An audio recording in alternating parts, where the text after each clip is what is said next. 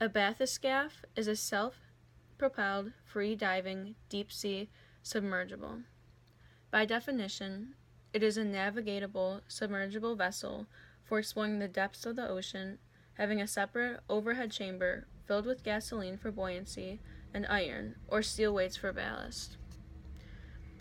It can dive deeper than a person with scuba gear and even deeper than submarines. It was designed to reach the deepest depths of the ocean. It was designed and created by the Swiss inventor Auguste Piccard.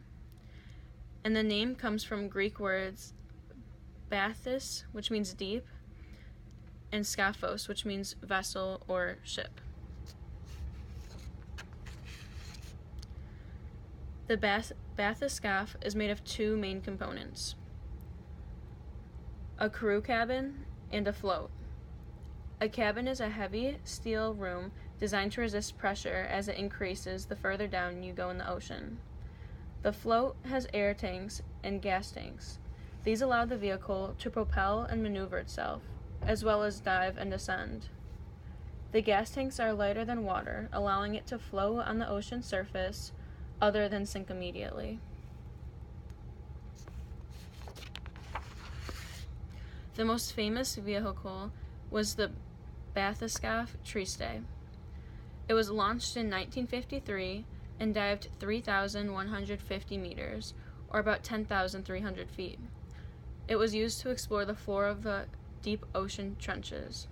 Later, in 1960, it reached the deepest point known on Earth, Marianas Trench, which was about 35,813 feet, which is deeper than the height of Mount Everest.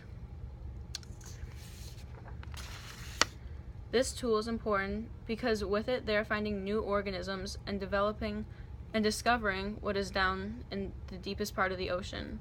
Without the bathyscaphe, we wouldn't be able to see what's down there and the different things growing. What are the two main parts of the bathyscaphe?